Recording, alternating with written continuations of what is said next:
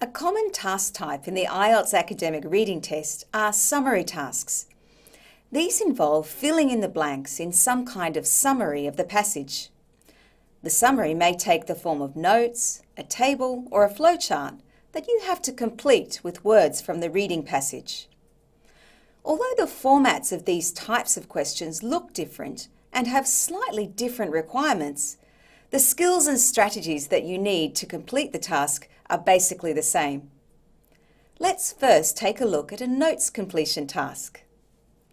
On the left of the screen, you can see a section from a reading passage, while on the right, you can see an example of a summary task, in this case, a notes completion task.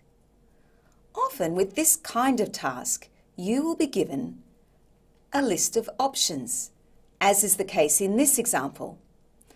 Notice that there are six options in the list to choose from, but only four questions, so not all the options from the list will be used.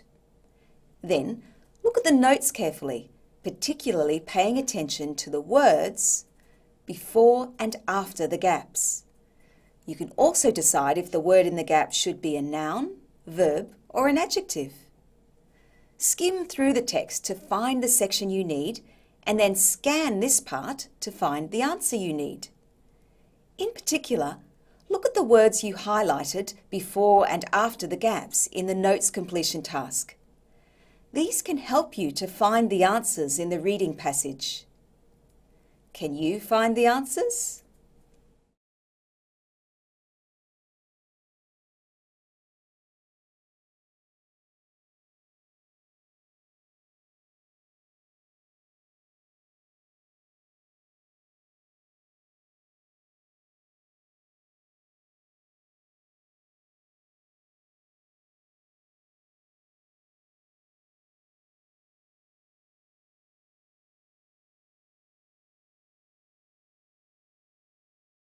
So here the answers are highlighted in green.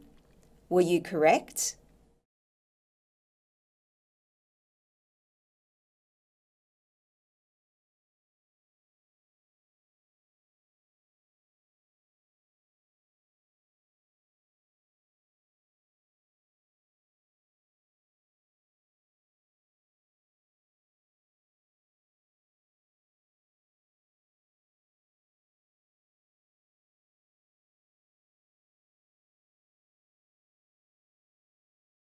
Let's take a look at another example, this time using a table.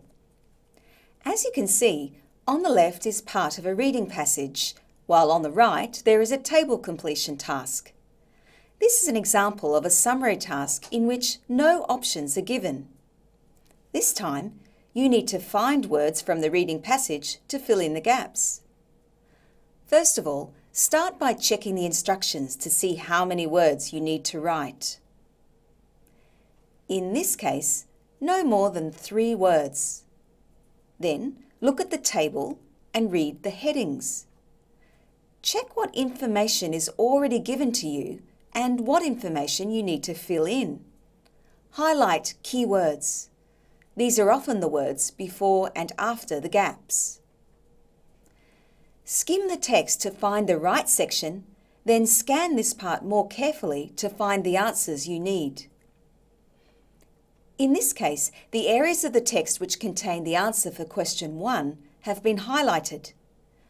Read this section carefully and try to find the answer.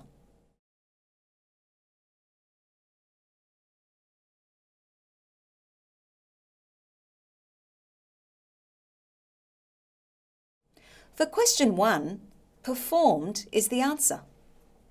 So as you can see, although the notes completion questions and table completion tasks look different in terms of format, the way to approach these kinds of questions is basically the same way. Similarly, if you encounter a flowchart completion, as shown in this example, you should approach this task as you would with a notes completion or table completion.